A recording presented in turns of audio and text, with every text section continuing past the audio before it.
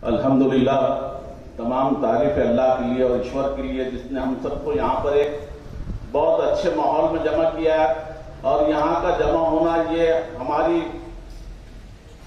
हमारी सारी कौम के लिए है कि उनके अंदर अमन और शांति आए।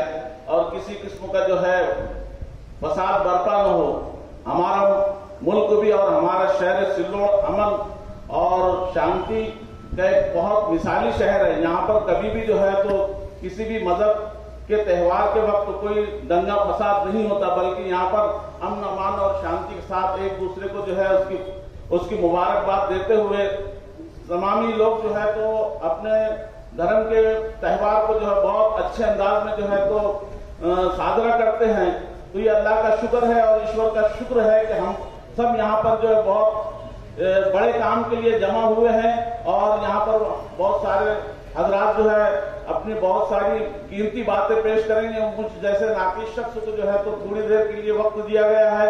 मैं ये बात बताना चाहता हूँ कि जमीयतुल्मा शाख सिल्लोड़ की जानब से सब भावना मंच का भी प्रोग्राम जो है, हमारे तालुके के अंदर रखने वाले हैं। और इन ताला इससे हम, हमारी यही कोशिश होगी कि हमारे हर शहर में, हर गाँव में जो है तो सब भावना मंच कायम हो और जिसके ज़रिए से जो है हिंदू, मुस्लिम में जो किसी किस्म का भी भेदभाव है तो उसको हम दूर करने की कोशिश करेंगे। सबसे अच्छा धार्मिक वही है जो किसी के धर्म को जो है बुरा न कहे। वो जो किसी दूसरे के धर्म को अगर बुरा कहता है तो वो अधर्मी है।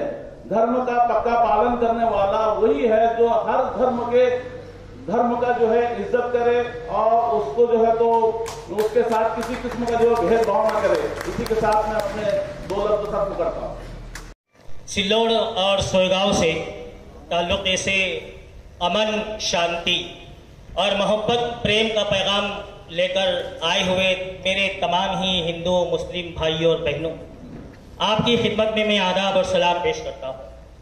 हम यहाँ पर जिस मकसद के लिए जमा हुए हैं, वो ये है कि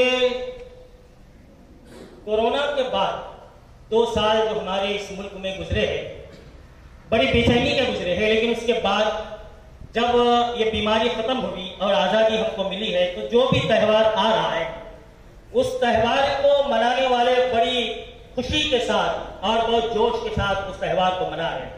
ये बड़ी अच्छी बात है।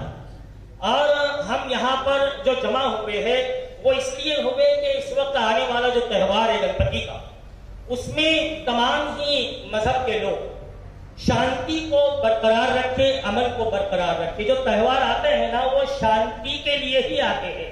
त्यौहार आते हैं, शांति का पैगाम देते हैं, अमन का पैगाम देते हैं।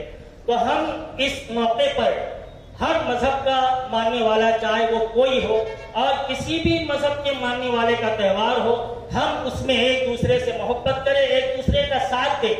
और जब हम एक दूसरे से मोहब्बत करेंगे, एक दूसरे को शांति का पैगाम देंगे तो त्यौहार हमारे बड़ी खुशी से मनाए जाएँगे।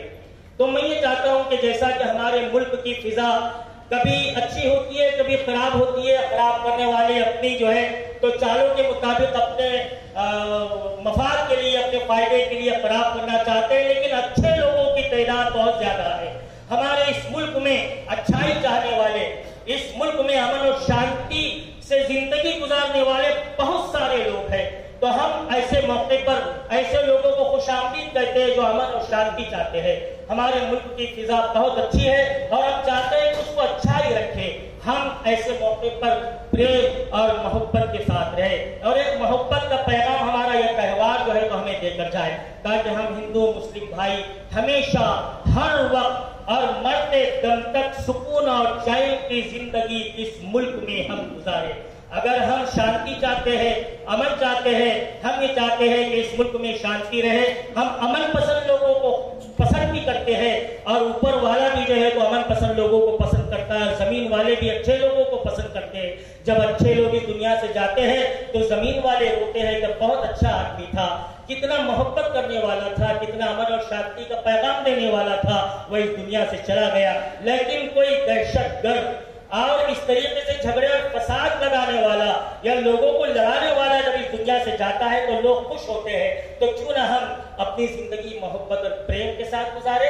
और जो भी त्यौहार, चाहे वो हिंदुओं का हो, चाहे मुसलमानों का हो, हम एक दूसरे का साथ दे।